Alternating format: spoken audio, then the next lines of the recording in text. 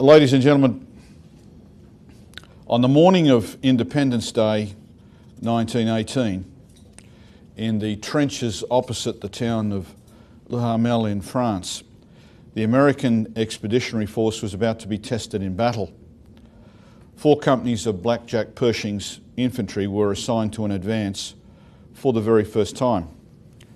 The Americans that morning were serving under Australian command, under Lieutenant General Sir John Monash, arguably the best field commander of the First World War, confirmed by the comments of his peers and by later historians. Monash was a skillful and innovative leader in a war where many generals were far too often characterised by the casualty lists that accompanied their decisions. The Americans were new to the Western Front. As yet, they were still inexperienced members of an army still forming. But they were eager to demonstrate their mettle, and so they would. The Australians, on the other hand, were toughened veterans by this stage of the war. The five divisions of, of the 1st Australian Imperial Force, the AIF, had served on the Western Front since 1916, after the Anzacs had been withdrawn from Gallipoli.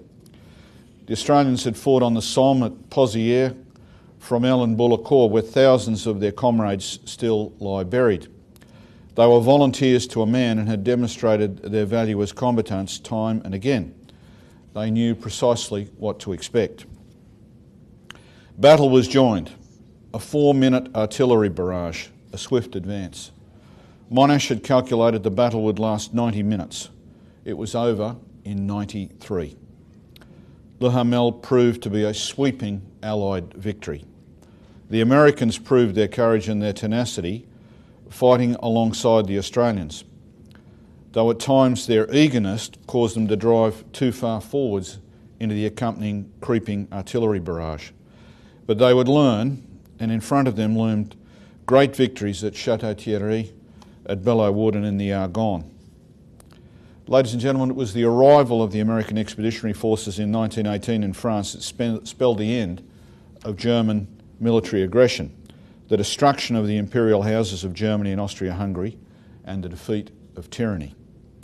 But significantly, the Americans' first engagement was with their Australian allies. Now, the question is the question I'll endeavour to answer tonight what brought these two nations together to occupy a trench and to be prepared to sacrifice mightily in the defeat of aggression? The Australians were officially for king and country. Australia still formed part of the British Empire and was therefore automatically at war when Britain declared war on Imperial Germany in 1914. The Americans, on the other hand, were fighting to make the world safe for democracy. They were committed to President Woodrow Wilson's 14 points, by which he hoped to settle the First World War honourably and to build a peace for future generations. Of course, we might remember that when advised of President Wilson's 14 points as a peace plan, Prime Minister of France Georges Clemenceau replied, The good Lord required only 10. But there was nothing in President Wilson's program of 14 points with which the Australians would have disagreed. The Diggers were fiercely democratic, having rejected Australian Prime Minister Billy Hughes twice on the issue of conscription for military service. In your country, you'd call it the draft. They were proud of their all volunteer status and reflected this in the ballot box. They said no to their own government twice, no to reinforcement by compulsion. And the Americans themselves were unusual among the major allies. They brought no real imperial agenda to the Western Front. Instead, they brought Wilson's determined sense of idealism and a preparedness to ensure that this war was the last. This was a sentiment with which the Australians found themselves in absolute agreement. And as Woodrow Wilson himself has observed, the history of liberty is a history of resistance. In short, in those early morning hours of the 4th of July 1918, Australians and Americans shared deeply held common values, values which were rooted in rigorous democratic cultures and a clear appreciation of the importance of liberty. Aggression was to be rejected and defeated. The future was to be guaranteed for the peace and for material and human progress, which was assumed in both the US and Australia. This was to characterise international future, the international future, This was the great hope. Ladies and gentlemen, that was 1918, but we still share those same values today, and we still fight for them tonight in Afghanistan. Now, people will argue the significance of different dates for the emergence of the modern relationship between Australia and the United States. In his address to the joint session of the Australian Parliament in 1996, President Clinton referred to the arrival of the American trader Philadelphia in Sydney in the year 1792. As background, the Australian penal settlement had only been established in the year 1788. In 1792, the Philadelphia had come from the city of its namesake with a cargo of meat for the infant, struggling, sometimes starving penal colony. It had been a journey of some six months. As President Clinton observed, quoting Prime Minister Malcolm Fraser, Philadelphia's cargo was, quote, well cured by the time of arrival.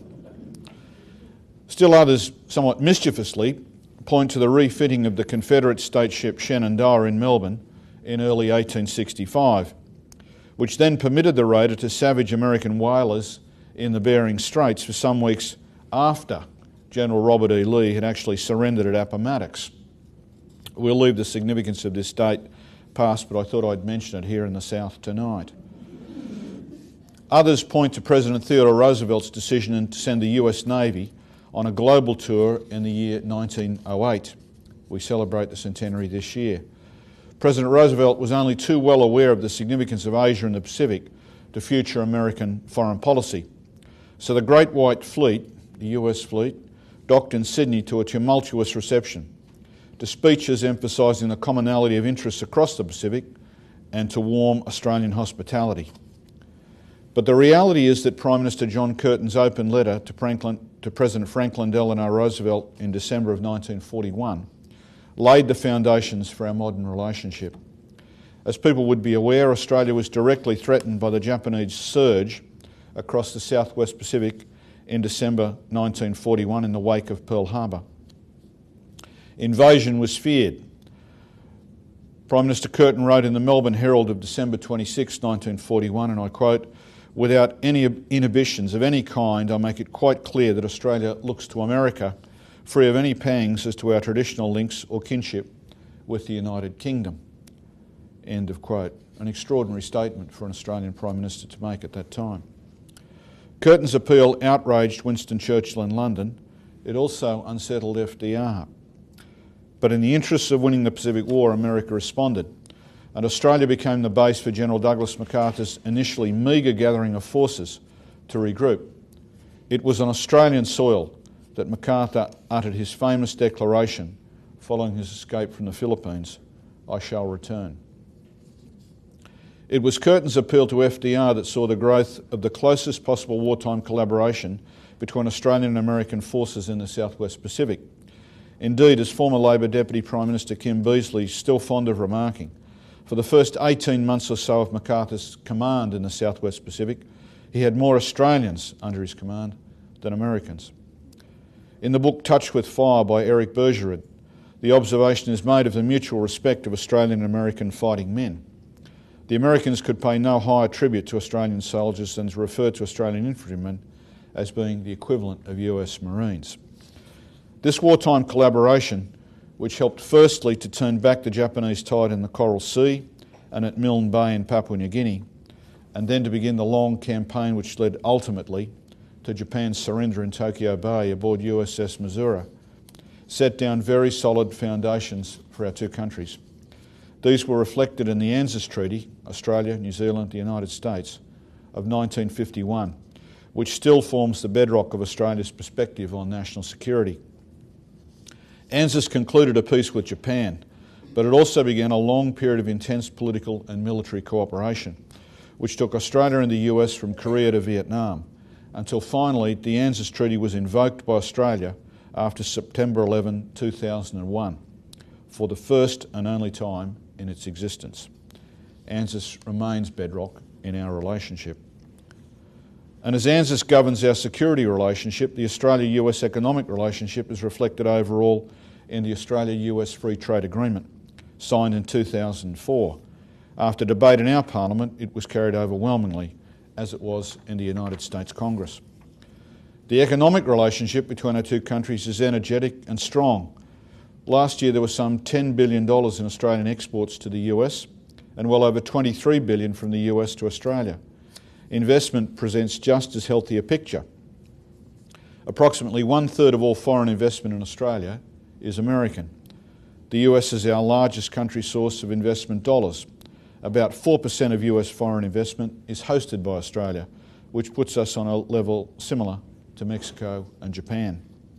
Turn, turning the coin over, the US receives approximately 40% of all Australian direct investment abroad. This has grown. At the end of 2006, Australia had over $40 billion more direct investment in the US than the US had in Australia. The Australia US Free Trade Agreement was an important step forward, and not, while neither Americans nor Australians achieved everything we wanted to accomplish, it's resulted in significant economic liberalisation and substantial returns to both partners on both sides of the Pacific. Now I turn to a reference that Skip made in his introduction.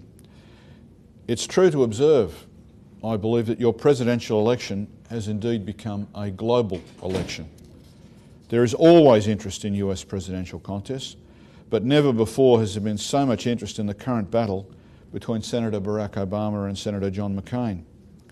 Certainly, the long campaigns for over a year for the determination of the Republican and Democratic nominees, especially the Democratic primaries, resulted in saturation coverage in Australia.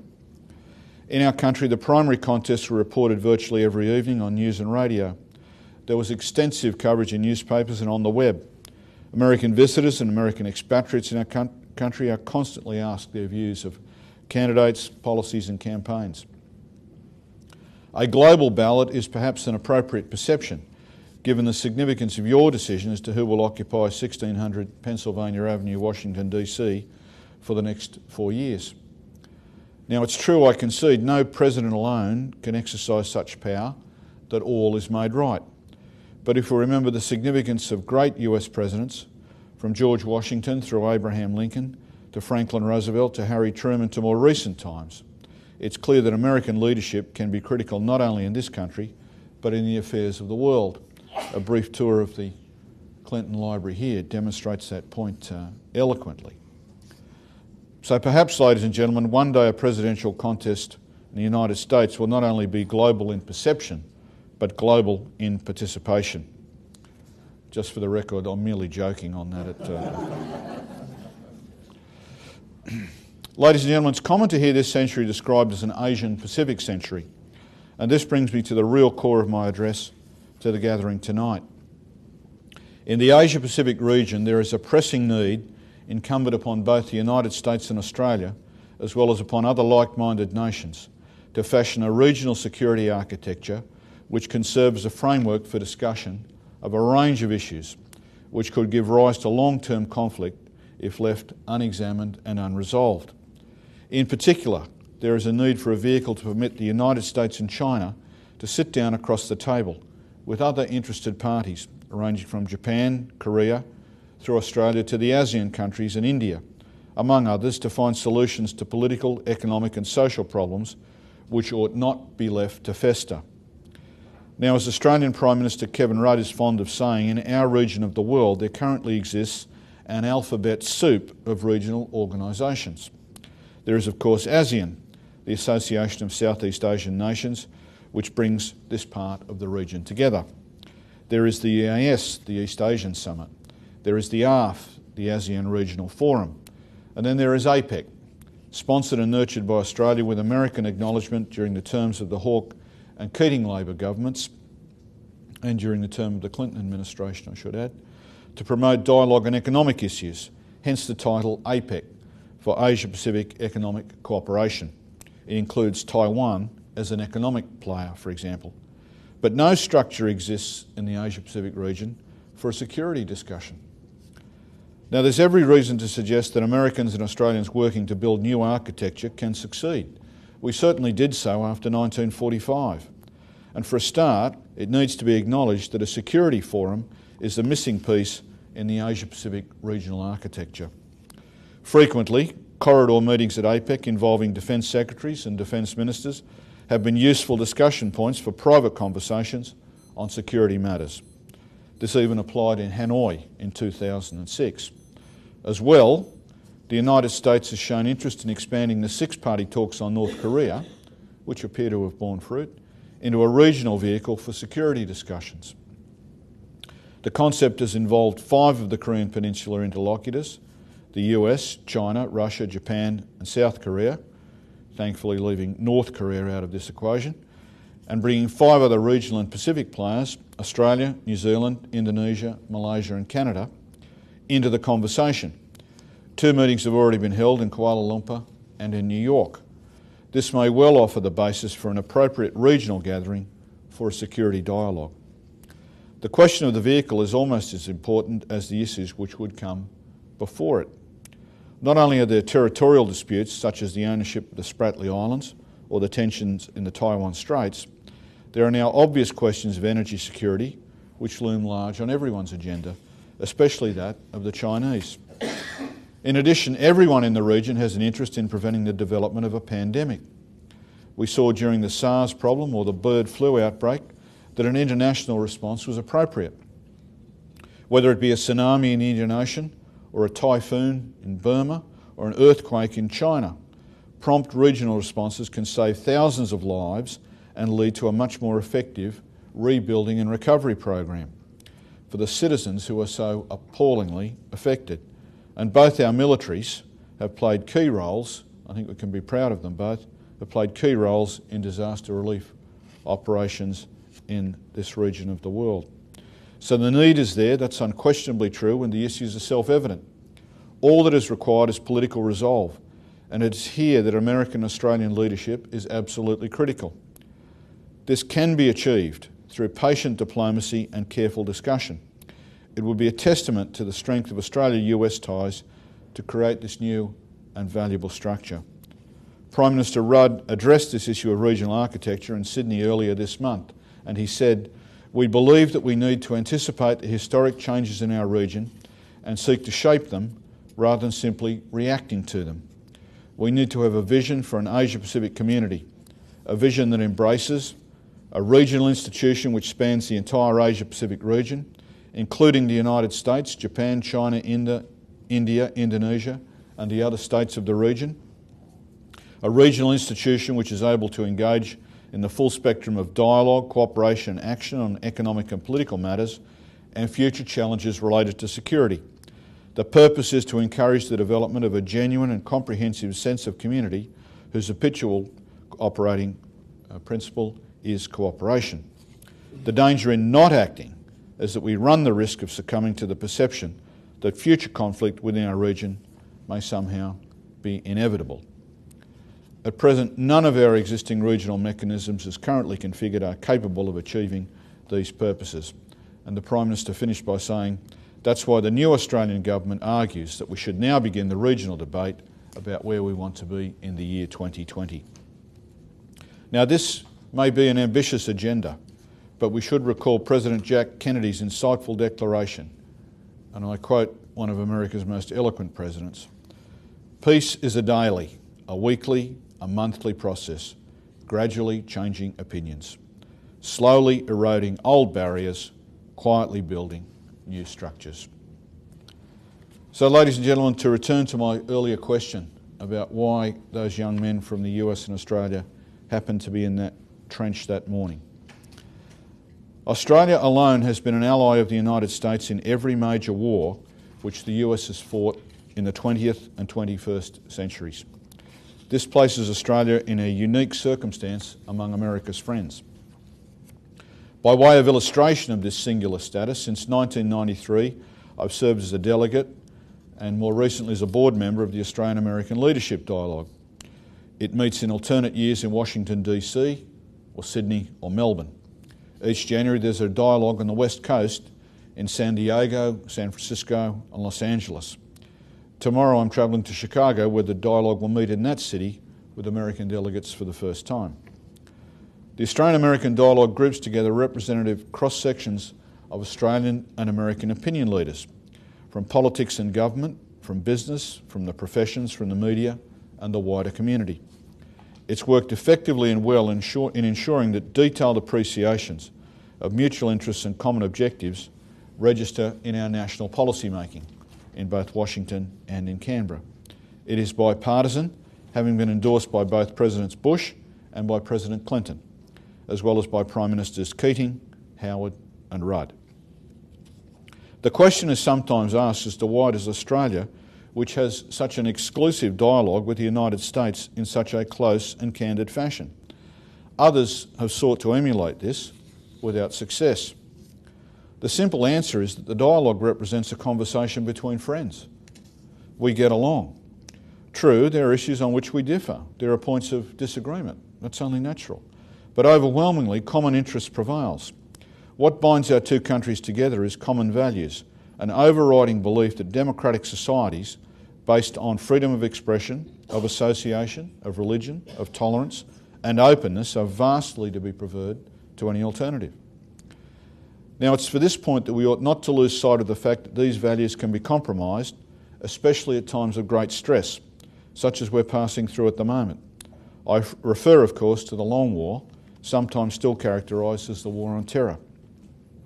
It's in extraordinarily difficult circumstances such as these that the temptation is there to cut corners, to put aside our values in the interests of securing immediate and definite results. After all, lives can be at stake. I'd argue that it is exactly these times that we need to be most rigorous in defending our liberties. The United States Bill of Rights is a landmark document in safeguarding human rights. In our original constitutional deliberations, Australia considered a Bill of Rights. Certain elements of our Constitution, such as the Australian freedom to practice any religion or none at all, originated in your Bill of Rights. International law now seeks to broaden the application and protection of liberties for a global constituency. Ladies and gentlemen, the West will win the long war. We will do so because our values will prevail. In this critical endeavour, we need to be careful not to lose sight of the reasons why we're fighting. But I conclude on this optimistic note. Francis Fukuyama may have been premature in 1989 when he wrote that we were at the end of history and that liberal democracy was everywhere triumphant. But he may simply have been anticipating a future. The Australian American relationship is more significant and runs deeper than any administration or government of any persuasion. It's deeper than any president or prime minister or any particular issue or challenge. As President Clinton told our Parliament in 1996 at a joint session, the great diversity of our ties was born of shared experience and common values. Our pioneers both settled vast frontiers and built free nations across entire continents. In one another, I really believe we see a distant mirror of our better selves, reflections of liberty and decency, of openness and vitality. President Clinton was absolutely right. Our relationship, the relationship between Australia and the US, is based upon essential commitments to liberty that both our peoples simply assume. We embrace and share those values. And in the final analysis, Australians and Americans have been prepared and continue to be prepared to die for those values. It is this measure of resilience and commitment which binds our two countries together. Values cannot be expressed adequately in a treaty, no matter how gifted the drafters might be. Values are expressed in the relationship between our two countries, which is anchored in the relationship between our two peoples. This constitutes the fundamental nature of the Australian American relationship as we see it tonight. It's been thus ever since our young men stood together in a trench line opposite Le Hamel on Independence Day 1918. It is a source of both pride and strength. It's appropriate, I believe, to conclude with a remark from one of America's greatest presidents, from Thomas Jefferson, who once said famously, I like the dreams of the future better than the history of the past. Our shared future may be marked by optimism and confidence, both characteristic of our two countries and our two peoples. And our shared future as partners for peace should build a new architecture in the Asia Pacific region which will simply confirm it. Thank you very much.